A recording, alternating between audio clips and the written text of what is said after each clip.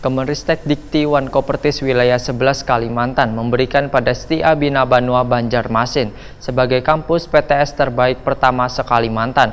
Pemberian itu sangat beralasan lantaran ribuan alumninya tersebar baik secara lokal, regional, wan nasional.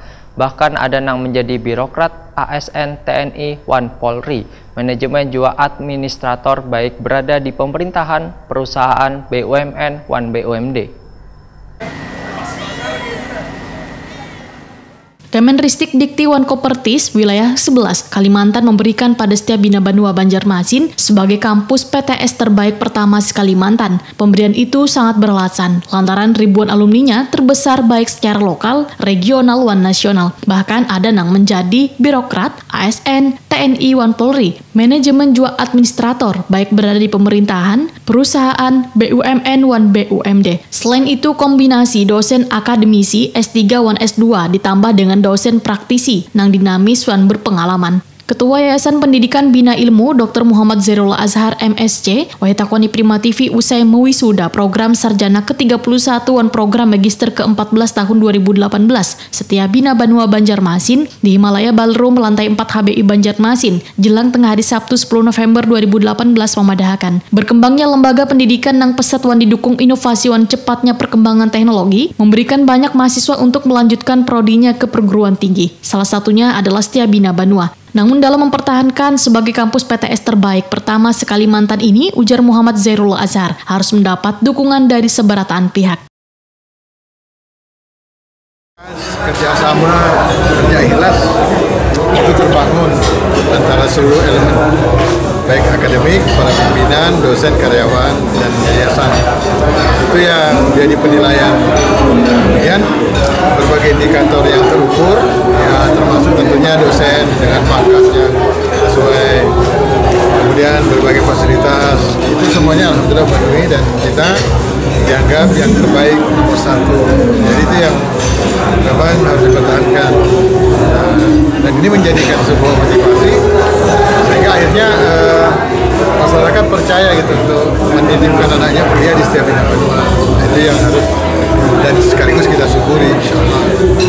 Dan menurut kami semua ini karena doa kita ini manusia tidak punya daya upaya ikhtiar demi ikhtiar yang kita lakukan tapi hanya tergantung di atas.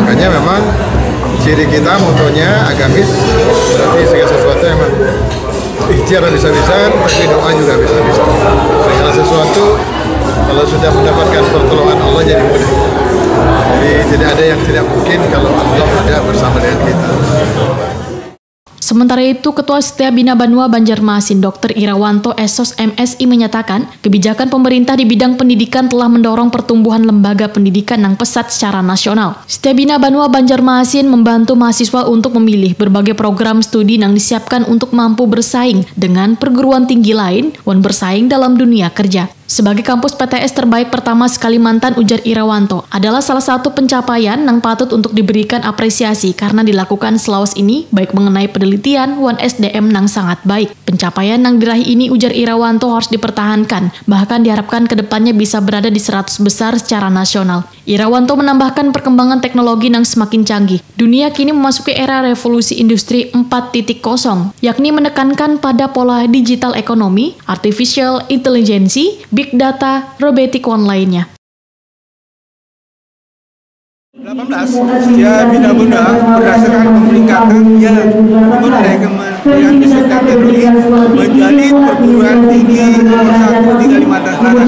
Ini menjadi suatu tantangan, tantangan dan cobaan kepada kita untuk bisa mempertahankan. Kalau bisa kita bisa menembus 100 besar perguruan tinggi terbaik di Indonesia.